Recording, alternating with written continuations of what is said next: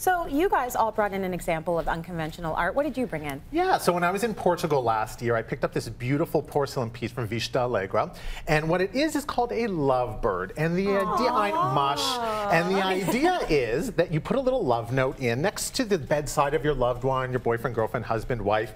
Um, so, you know, when I brought it home, I told Chubba what it was for. Yeah. And Chubba's a very stoic guy. He's not necessarily going to leave me a love note. I no. thought I'd be the first one. Yes. But um, he called me one day and he was like, when you get home, make sure you check out the lovebird. And I was all excited. I was like, you oh. left me a oh, love note, so I'm going to let Can you read, read, it. Absolutely. Oh, what did Chubba say to Shai? he said, pick up toilet paper and don't forget poop bags. love Chubba. Okay. You don't love Chubba, so that was fun. Yeah, that's, that is such a sweet love Isn't note. Yes. I know. I know.